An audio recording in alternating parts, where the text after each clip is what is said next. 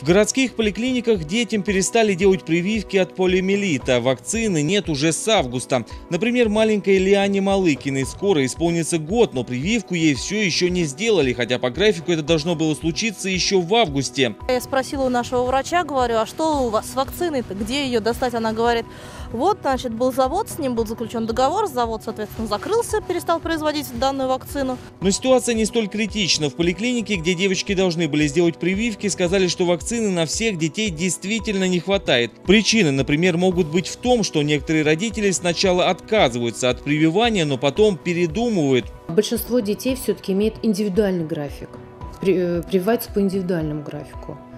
И э, даже тех детей, которые мы сейчас, как я говорю, приглашаем на прививку, э, получается так, что они заболевают, и сроки вакцинации отодвигаются. Но я думаю, что это, и я уверен, что это вопрос и эта проблема решится с последующей поставкой. В принципе, в нашей стране опасных форм полиомиелита не встречается. Это большая редкость, поэтому паниковать рано, тем более, вот, насколько нам известно, компетентные структуры, в частности Минздрав и региональные, федеральные, они в курсе этой проблемы, вакцина должна поступить уже, просто читал по лентам, э, риск минимальный. Но надо сказать, полиомиелит – заболевание коварное. Начинается как обычная простуда, но уже на четвертый день у человека развивается паралич ног. А получить это заболевание можно очень просто – через грязные руки, грязные игрушки, немытые овощи и фрукты. В СССР использовали только живую вакцину, называющуюся «красные капли». Этот препарат был недостаточно эффективен. Была разработана инактивированная вакцина. В России она а, до настоящего времени не производилась.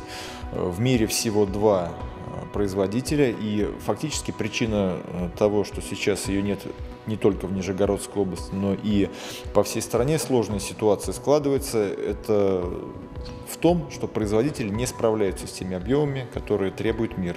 Минздрав намерен бороться с нехваткой вакцины. В настоящее время в Российской Федерации Министерством здравоохранения принимаются меры своевременного обеспечения детского населения данной вакцины. В Нижегородской области она поступила в небольшом количестве в сентябре текущего года.